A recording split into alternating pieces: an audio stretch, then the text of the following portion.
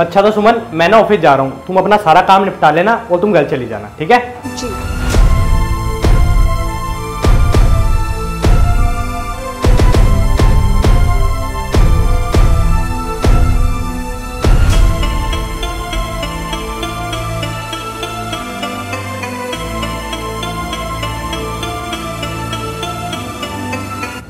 हाय दीदी कैसे हो? हाँ मैं ठीक हूँ। तुम्हें पता है घर में कोई नहीं है। जल्दी से आ जाओ। हाँ मैं तुम्हारा वेट कर रही हूँ। अच्छा तो मेरे पीठ पीछे ये सब कर रही है। इसका मतलब मेरा शक बिल्कुल सही था।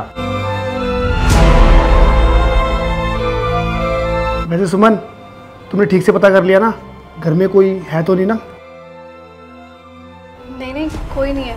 पापा चले गए ड्यूटी और मम्मी मासी के घर गई। ये तो बहुत अच्छी बात है कि घर पर कोई भी नहीं है। हम दोनों को कम से कम टाइम तो मिला। यार मैं क्या सोच रहा था कि हम कब तक ऐसे छुप छुप के मिलते रहेंगे? तुम अपने घर पर बात कर लो हमारे लिए। अरे यार मैं तो बात करना चाहती हूँ। देखो जैसे मौका मिलेगा मैं बता दूँगी। बस मुझे मौका नहीं मिल रहा कि मम्मी पापा कब साथ हो और मैं बता पाऊँ। जैसे मौका मिलेगा मैं उनसे बात कर लूँगी। अच्छा ये सब छोड़ो।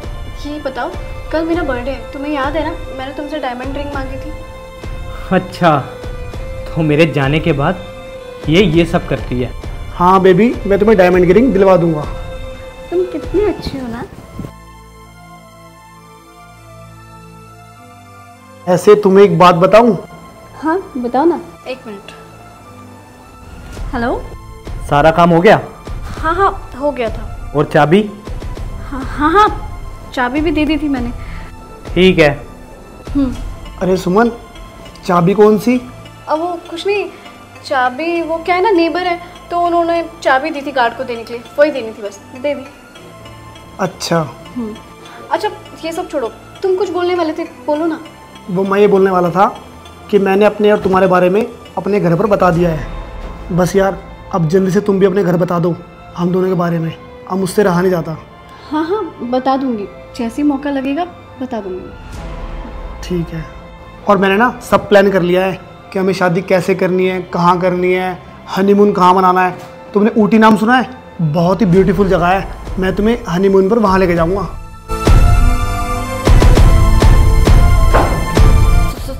साहब आप यहाँ? अरे सुमन तुम इसे साफ़ की बोल रही हो। रमेश चुप करो तुम। अब कोई फ़ायदा नहीं है इसे चुप कराने का। मुझे पता लग चुका है कि तुम मेरे जाने के बाद ऐसे लड़कों को बुलाती हो। और उनको अपने प्यार के जाल में फंसा के ऐसे महँगे महँगे गिफ्ट लेती हो। अब देखो अब सब कुछ मेरे सामने आ गया है। वो भी विद प्रूफ अरे सुमन ये तुम्हें कैसे बोल रहा है? नौकरानी ब्लैकमेल अबे ओए तेरी हिम्मत कैसे बोलने की? कौन है तू? अरे परमीश शांत हो जाओ। एक काम करो ना तुम मैं तुम्हें बाद में सब कुछ बताती हूँ। तुम अभी चले जाओ। मैं तुम्हें फ़ोन में सारी चीज़ें क्लियर करती हूँ हाँ? अरे सुमन क्यों भगा रही हो तुम बेचारे को? उसको भी तो जानने का हक है कि तुम क्या गुल खिला रही हो। खैर भाई, तुम ये सब छोड़ो। ये तो सच बताएगी नहीं। मैं ही बता देता हूँ। भाई, ये जो तुम घर देख रहे हो ना, जिसको ये अपना घर बता रही है, वो असल में मेरा घर है। और ये इस घर की सिर्फ़ एक नौकरानी है। और हाँ ये करती क्या है?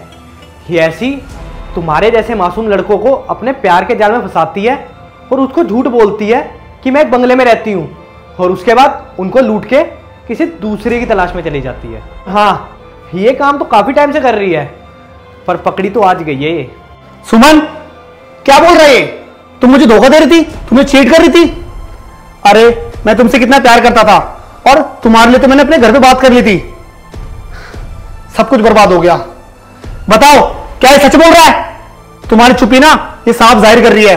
कि तुम झूठ बोल रही हो। तुम ना शादी के लायक नहीं हो। मन तो ऐसा करा, तुम्हें जान से मार दूँ। और तुम ना किसी के प्यार के लायक नहीं हो। आज के बाद ना मुझे अपनी शक्ल मत दिखाना। बेवफा तुम्हें क्या लगा था कि तुम पकड़ी नहीं जाओगी? किसी को पता नहीं लगेगा कि तुम यहाँ पर क्या कर रही थी।